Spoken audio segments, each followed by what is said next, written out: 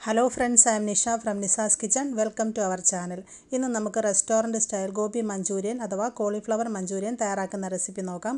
ചപ്പാത്തിക്കും പൊറോട്ടയ്ക്കും ഒക്കെ പറ്റിയ വളരെ ടേസ്റ്റുള്ള റെസിപ്പിയാണിത് ട്രൈ ചെയ്ത് നോക്കിയിട്ട് ഇഷ്ടമായാൽ മറക്കാതെ ചാനൽ സബ്സ്ക്രൈബ് ചെയ്യണം. ഇതിലേക്ക് ആവശ്യമായ ഇൻഗ്രീഡിയൻസ് എന്തൊക്കെയാണെന്ന് നോക്കാം. കോളിഫ്ലവർ ഒരെണ്ണം ചെറുത്. സവോള ഒരെണ്ണം മീഡിയം സൈസിലുള്ളത് ചെറുതായിട്ട് കട്ട് ചെയ്തത്. ക്യാപ്സിക്കം ഒരെണ്ണം സ്മോൾ സൈസ് ചതുരത്തിൽ കട്ട് ചെയ്തെടുത്തത്. വെളുത്തുള്ളി നാലല്ലി ചെറുതായിട്ട് അരിഞ്ഞെടുത്തത്. ജിഞ്ചർ ഗാർലിക് പേസ്റ്റ് ഒരു ചെറിയ കഷ്ണം ഇഞ്ചിയും അഞ്ച് അല്ലി വെളുത്തുള്ളി നന്നായിട്ട് അരച്ച് പേസ്റ്റാക്കിയതാണ്.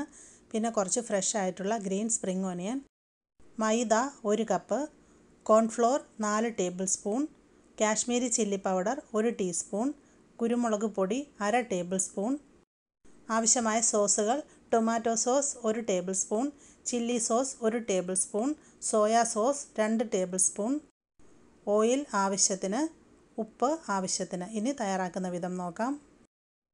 ഞാനൊരു ചെറിയ ബൗൾ എടുത്തിട്ടുണ്ട്. ഇതിലേക്ക് നമുക്കൊരു രണ്ട് ടേബിൾ സ്പൂൺ കോൺഫ്ലോർ ഇട്ട് കൊടുക്കാം.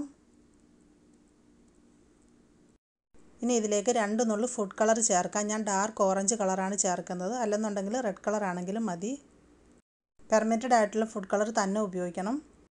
ഇനി ഇതിലേക്ക് ഒരു ഗ്ലാസ് വെള്ളം ഒഴിച്ചു കൊടുക്കാം. ഇത് നമ്മളിങ്ങനെ കലക്കി വെക്കുന്നത് ലാസ്റ്റ് കറിക്ക് ഗ്രേവിക്ക് വേണ്ടിയിട്ട് ചേർക്കാനായിട്ടാണ്. അപ്പോൾ കൂടുതൽ ഗ്രേവി നമുക്ക് വേണമെന്നുണ്ടെങ്കിൽ വെള്ളത്തിന്റെ അളവ് അതുപോലെ തന്നെ കോൺഫ്ലോറിന്റെ അളവും കൂട്ടി മിക്സ് ചെയ്ത് വെക്കുക. പിന്നെ ഫുഡ് കളർ നമ്മൾ ചേർക്കുന്നത് റെസ്റ്റോറന്റ് സ്റ്റൈൽ ആ ഒരു കളർ കിട്ടാൻ വേണ്ടിയിട്ടാണ്. അപ്പം കളർ ചേർക്കുന്നത് ഇഷ്ടമില്ല എന്നുണ്ടെങ്കിൽ ഇത് വെറുതെ വെള്ളത്തിൽ കോൺഫ്ലോർ മാത്രം മിക്സ് ചെയ്ത് വെച്ചാൽ മതി. നമ്മുടെ ഇഷ്ടം അനുസരിച്ച് ചെയ്യാം. കോളിഫ്ലവർ ഇതുപോലെ ചെറിയ പൂക്കളായിട്ട് അടർത്തിയെടുക്കുക. അത് നന്നായിട്ട് തിളച്ച വെള്ളത്തിൽ കുറച്ച് ഉപ്പിട്ട ശേഷം അരമണിക്കൂർ ഈ ചൂടുവെള്ളത്തിൽ ഇതുപോലെ സോക്ക് ചെയ്ത് വെക്കണം. അതിന് ശേഷം ഇത് നന്നായിട്ട് വാഷ് ചെയ്ത് വെള്ളം ഡ്രെയിൻ ചെയ്തെടുക്കാം. അടുത്തായിട്ട് നമുക്ക് ബാറ്റർ തയ്യാറാക്കാം. അതിനായിട്ട് ഞാനൊരു വലിയ ബൗൾ എടുത്ത് വെച്ചിട്ടുണ്ട്. ഇതിലോട്ട് ഒരു കപ്പ് മൈദ ഇട്ട് കൊടുക്കാം. മൈദ ഞാനൊരു ചെറിയ കപ്പാണ് എടുത്തിട്ടുള്ളത്. ഇനി ഇതിലേക്ക് രണ്ട് ടേബിൾ സ്പൂൺ കോൺഫ്ലോർ ഇട്ട് കൊടുക്കാം. രണ്ട് ടേബിൾ സ്പൂൺ മതിയാവും. ഇനി ഇതിലോട്ട് ജിഞ്ചർ ഗാർലിക് പേസ്റ്റ് ചേർത്ത് കൊടുക്കാം.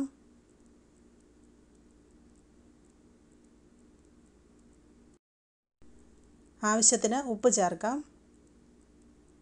ഇനി ഇതിലേക്ക് ഒരു ടീസ്പൂൺ കാശ്മീരി ചില്ലി പൗഡർ ചേർത്ത് കൊടുക്കാം.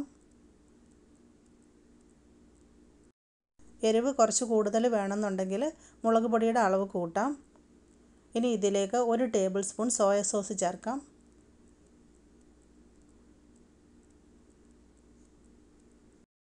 ഇനി ഇതിലോട്ട് നമുക്ക് വെള്ളം ഒഴിച്ചിട്ട് ഇതിനെ നന്നായിട്ട് മിക്സ് ആക്കിയെടുക്കാം ആദ്യം വെള്ളം കുറച്ച് ഒഴിക്കുക. മിക്സ് ചെയ്തതിന് ശേഷം ആവശ്യാനുസരണം വെള്ളം ഒഴിച്ചിട്ട് ഇതിനെ നന്നായിട്ട് മിക്സ് ആക്കിയെടുക്കാം ഒന്നിച്ച് വെള്ളം ഒഴിച്ചാൽ ചിലപ്പോൾ ഇത് വല്ലാണ്ട് ലൂസായി പോവും. അതുകൊണ്ട് ഇതുപോലെ കുറേശ്ശെ ഒഴിച്ച് നന്നായിട്ട് ഒട്ടും കട്ടയില്ലാതെ മിക്സ് ആക്കി എടുക്കുക. നമ്മൾ എടുത്തിരിക്കുന്ന കോളിഫ്ലവർ ഒരെണ്ണം ചെറുതാണ്. അതുകൊണ്ട് തന്നെ കുറച്ച് ബാറ്റർ മതിയാവും.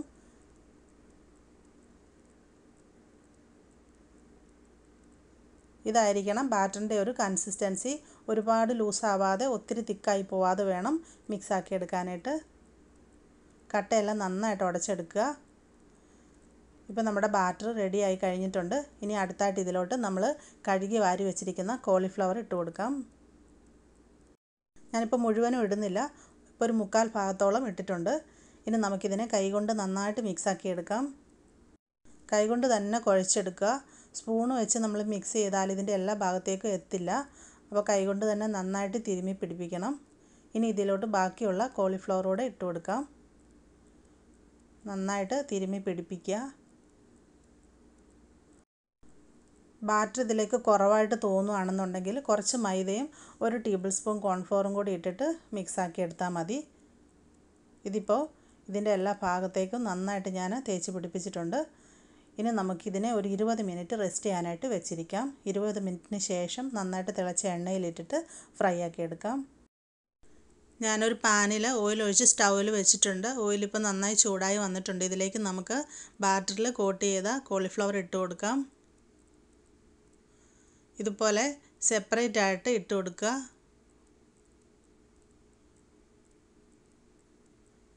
കുറേശ്ശെ ഇട്ടിട്ട് നമുക്കിതിനെ ഫ്രൈ ആക്കി എടുക്കാം. മീഡിയം ഹീറ്റിലിട്ടിട്ട് വേണം ഇതിനെ ഫ്രൈ ചെയ്യാനായിട്ട്. ഇപ്പോൾ ഇതിന്റെ വൺ സൈഡ് ഫ്രൈ ആയി വന്നിട്ടുണ്ട്.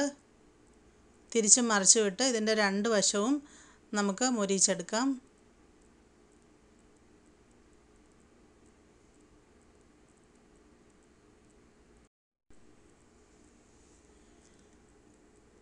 ഇപ്പോൾ കോളിഫ്ലവർ ആവശ്യത്തിന് ഫ്രൈ ആയി വന്നിട്ടുണ്ട്. ഇതുപോലെ നല്ലൊരു ഗോൾഡൻ കളറായിട്ട് വരണം. നമുക്കിതിനെ ഇതിനെ ഓയിൽ നിന്ന് കോരി മാറ്റാം.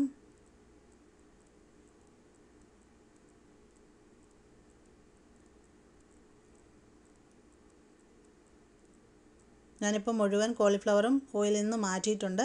ഇനി നമുക്ക് ഈ ഓയിലിലേക്ക് ബാക്കിയിരിക്കുന്ന കോളിഫ്ലവറും കൂടെ ഇട്ട് ഫ്രൈ ആക്കി എടുക്കാം. കൂടിക്കിടക്കാതെ സെപ്പറേറ്റ് ആയിട്ടിട്ട് ഫ്രൈ ആക്കി എടുക്കുക. കോളിഫ്ലവർ മുഴുവനും ഫ്രൈ ആക്കിയതിന് ശേഷം ഇതിലുണ്ടായിരുന്ന എക്സസ് ആയിട്ടുള്ള ഓയിൽ മാറ്റിയിട്ട് ഞാൻ പാൻ വീണ്ടും സ്റ്റൗവിൽ വെച്ചിട്ടുണ്ട്. ഇതിലേക്ക് ഞാൻ ജസ്റ്റ് ഒരു രണ്ട് ടേബിൾ സ്പൂൺ ഓയിൽ ഒഴിച്ച് കൊടുത്തിട്ടുണ്ട്. ഓയിൽ നന്നായിട്ട് ചൂടായതിന് ശേഷം അരിഞ്ഞു വെച്ചിരിക്കുന്ന വെളുത്തുള്ളി ഇട്ട് കൊടുക്കാം. ഇനി ഇതിലോട്ട് ചെറുതായിട്ട് അരിഞ്ഞ സവാള കൂടെ ചേർക്കാം.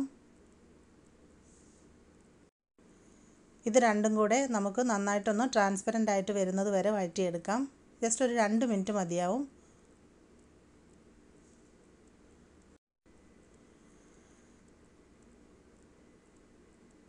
ഇപ്പോൾ സവോളയും വെളുത്തുള്ളിയും നന്നായിട്ട് സോഫ്റ്റായി വന്നിട്ടുണ്ട്. ഇനി ഇതിലേക്ക് അരിഞ്ഞു വെച്ചിരിക്കുന്ന ക്യാപ്സിക്കം ഇട്ട് കൊടുക്കാം.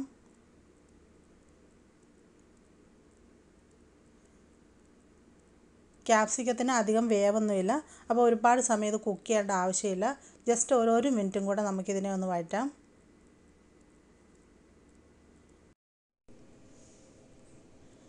ഇപ്പം നമ്മളിതിനെ ഒരു മിനിറ്റോളം വഴറ്റി ഇനി അടുത്തായിട്ട് ഇതിലോട്ട് നമുക്ക് സോസുകൾ ചേർത്ത് കൊടുക്കാം.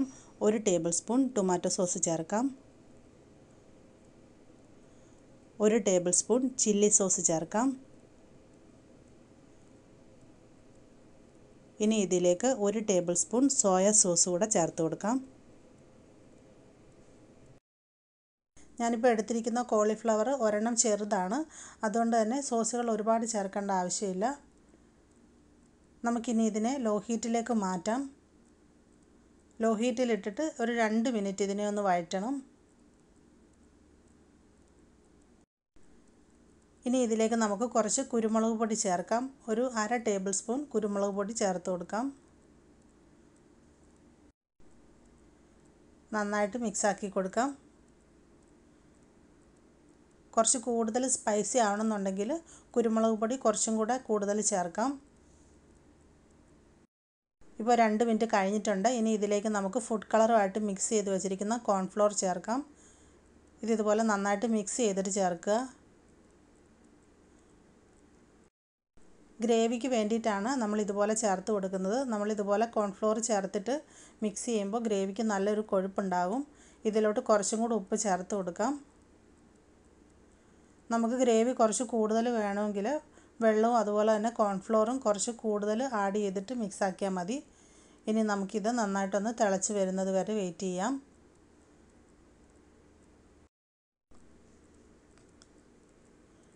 ഗ്രേവി ഇപ്പോൾ നന്നായിട്ട് തിളച്ച് വന്നിട്ടുണ്ട്. ഇനി നമുക്കിതിലോട്ട് കട്ട് ചെയ്ത് വെച്ചിരിക്കുന്ന ഗ്രീൻ സ്പ്രിംഗ് ഓനിയൻ ചേർത്ത് കൊടുക്കാം. ഇത് മുഴുവനും ചേർക്കുന്നില്ല. ഇതിൽ കുറച്ചൊന്ന് ലാസ്റ്റ് നമുക്ക് ഗാർണിഷ് ചെയ്യാൻ വേണ്ടിയിട്ട് മാറ്റി വെച്ചിട്ടുണ്ട്. നന്നായിട്ട് മിക്സ് ആക്കാം. ഇനി ഇതിലോട്ട് ഫ്രൈ ആക്കി വെച്ചിരിക്കുന്ന കോളിഫ്ലവർ ഇട്ട് കൊടുക്കാം. ഇനി ഇതിനെ ഗ്രേവിയുമായിട്ട് നന്നായിട്ട് മിക്സ് ചെയ്തെടുക്കാം. കോളിഫ്ലവറിന്റെ മുഴുവൻ ഭാഗത്തേക്കും ഗ്രേവി നന്നായിട്ട് എത്തണം. അപ്പോൾ അതിനായിട്ട് നന്നായിട്ട് മിക്സ് ചെയ്ത് കൊടുക്കുക. നമ്മളിപ്പോൾ ഇത് ഉണ്ടാക്കുന്നത് ഒരു സെമി ഗ്രേവി ഗോബി മഞ്ചൂരിയൻ ആണ് അപ്പോൾ ഗ്രേവി ഇതിലും കൂടുതൽ വേണമെന്നുണ്ടെങ്കിൽ ഞാൻ നേരത്തെ പറഞ്ഞ പോലെ തന്നെ കോൺഫ്ലോറുമായിട്ട് കുറച്ച് കൂടുതൽ വെള്ളം മിക്സ് ചെയ്യുക. അതുപോലെ തന്നെ സോസിന്റെയും അളവ് ഡബിളാക്കുക ഇനി നമുക്ക് സ്റ്റൗ ഓഫ് ചെയ്യാം. നമ്മുടെ അടിപൊളി ഗോബി മഞ്ചൂരിയൻ ഇവിടെ റെഡി ആയിക്കഴിഞ്ഞു നമുക്കിനി ഇതിനെ ചൂടോടുകൂടി തന്നെ സെർവിങ് ഡിഷിലേക്ക് മാറ്റാം. അപ്പം നമ്മുടെ ഗോപി മഞ്ചൂരിയൻ ഇവിടെ സെർവ് ചെയ്യാനായിട്ട് റെഡി ആയിട്ടുണ്ട്. ഇത് ചപ്പാത്തി ചോറ് അതുപോലെ തന്നെ ഫ്രൈഡ് റൈസ് ഇതിന്റെ ഒപ്പം എല്ലാം വളരെ നല്ല കോമ്പിനേഷനാണ് മറക്കാതെ എല്ലാവരും ട്രൈ ചെയ്ത് നോക്കുക. ഇഷ്ടമായിട്ടുണ്ടെങ്കിൽ വീഡിയോയുടെ ലിങ്ക് നിങ്ങളുടെ ഫ്രണ്ട്സിനും കൂടി ഷെയർ ചെയ്ത് കൊടുക്കുക. അതുപോലെ നമ്മുടെ ചാനലിനെ പറ്റിയുള്ള എല്ലാ അഭിപ്രായങ്ങളും നിർദ്ദേശങ്ങളും കമന്റ് ബോക്സിൽ എഴുതി അറിയിക്കാൻ മറക്കരുത്. ചാനൽ ആദ്യമായിട്ട് കാണുന്ന എല്ലാവരും സബ്സ്ക്രൈബ് ചെയ്യണം സപ്പോർട്ട് ചെയ്യണം. താങ്ക്